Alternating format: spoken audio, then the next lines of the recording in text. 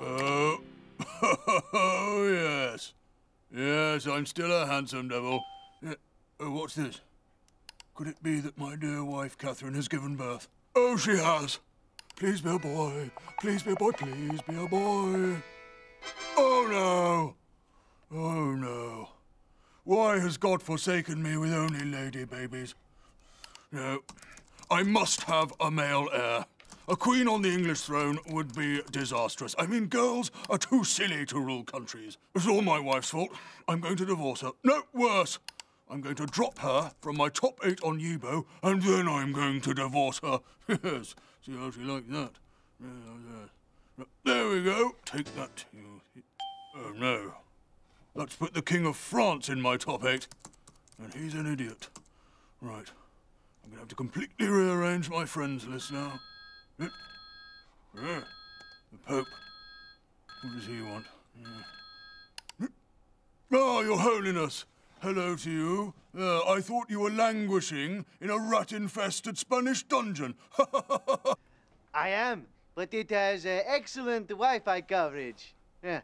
Henry, is it true? You dropped the queen from your top eight on Yebo? yes, it's true.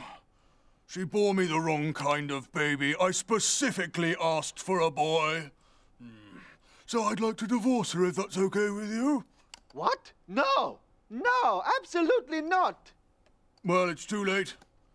I'm looking on TudorBrides.com as we speak. Uh, Henry, now listen to me. Go. Here's one. Anne Boleyn, Protestant lady, seeks rich, ennobled husband for good times and lots of male heirs, likes beards. Well, I must marry her right away. Henry, the Catholic Church unremittingly refuses your request for a divorce. oh, really?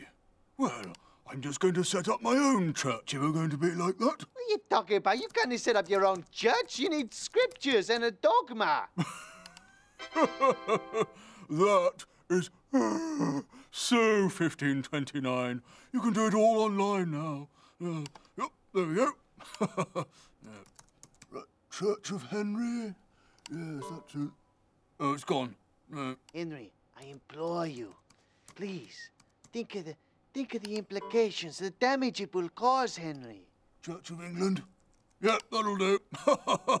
Henry, please listen to me. I'm the Pope. Henry, Henry. Sorry, Your Holiness. I'm the Gotta go. Email just popped in. It might be from Anne Boleyn. Uh, see you later.